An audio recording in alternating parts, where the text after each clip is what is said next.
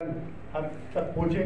हर घर, जल, नल से जो स्वच्छ पानी पीने का पहुँचे तो जो मैंने पहले भी आपको जानकारी दी तो उसके बारे में हमने चर्चा करी। मैं उसमें एक रेजोल्यूशन मैंने दिया था जो आज एनडीएमसी की काउंसिल मीटिंग में पास हुआ और 18 जो हमारे क्लस्टर्स हैं, उसके बाद जो कुछ अनऑथराइज कॉलोनी भी होगी, उसमें हर घर, जल के पूरा डिटेल्ड प्रोजेक्ट उसका फाइनेंस का क्या होगा, क्या उसकी लॉजिस्टिक्स होगी, हम उसको इन प्रिंसिपल हमने अप्रूव किया और अगली मीटिंग में पूरे डिटेल प्रोजेक्ट के साथ वो ये आएगा। जब दिल्ली की छह सौ तिरानवे सेवा बस्तियों में जो दिल्ली के मुख्यमंत्री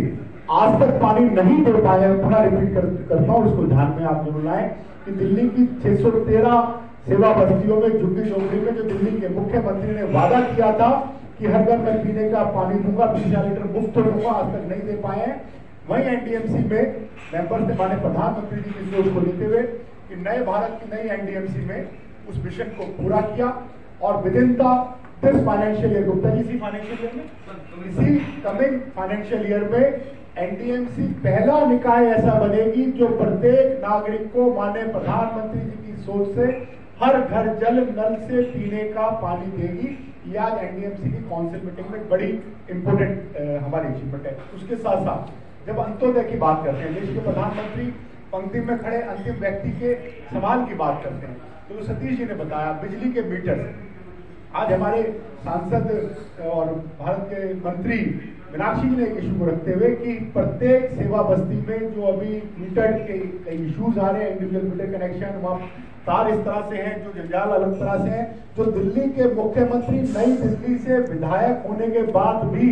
बड़े बड़े विकास के मॉडल की बात करते हैं, पर आज तक अपनी विधानसभा के लोगों को फैसिलिटीज़ नहीं दे पाए। काउंसिल ने डिसीज़न लिया? कि प्रत्येक व्यक्ति को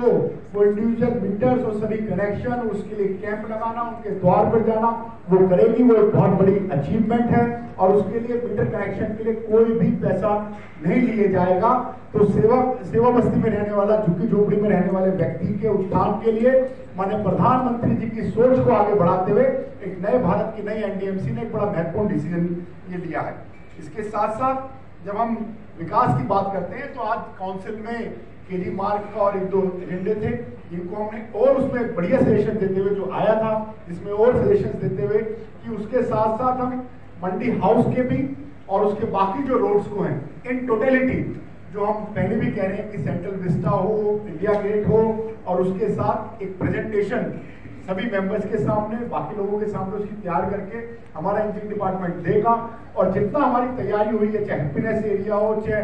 यूथ के लिए कुछ अलग सेटिंग एरिया हो ओपन थिएटर्स हो, उसका पूरा डिटेल्ड प्लानिंग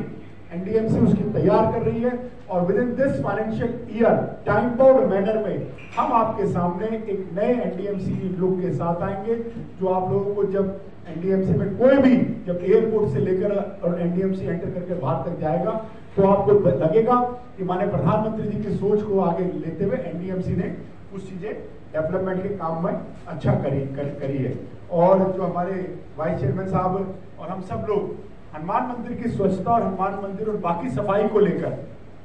और सतर्क है उसमें कुछ चीज़ों में हम लोगों ने अपने राउंड्स भी तय किए और आगे भी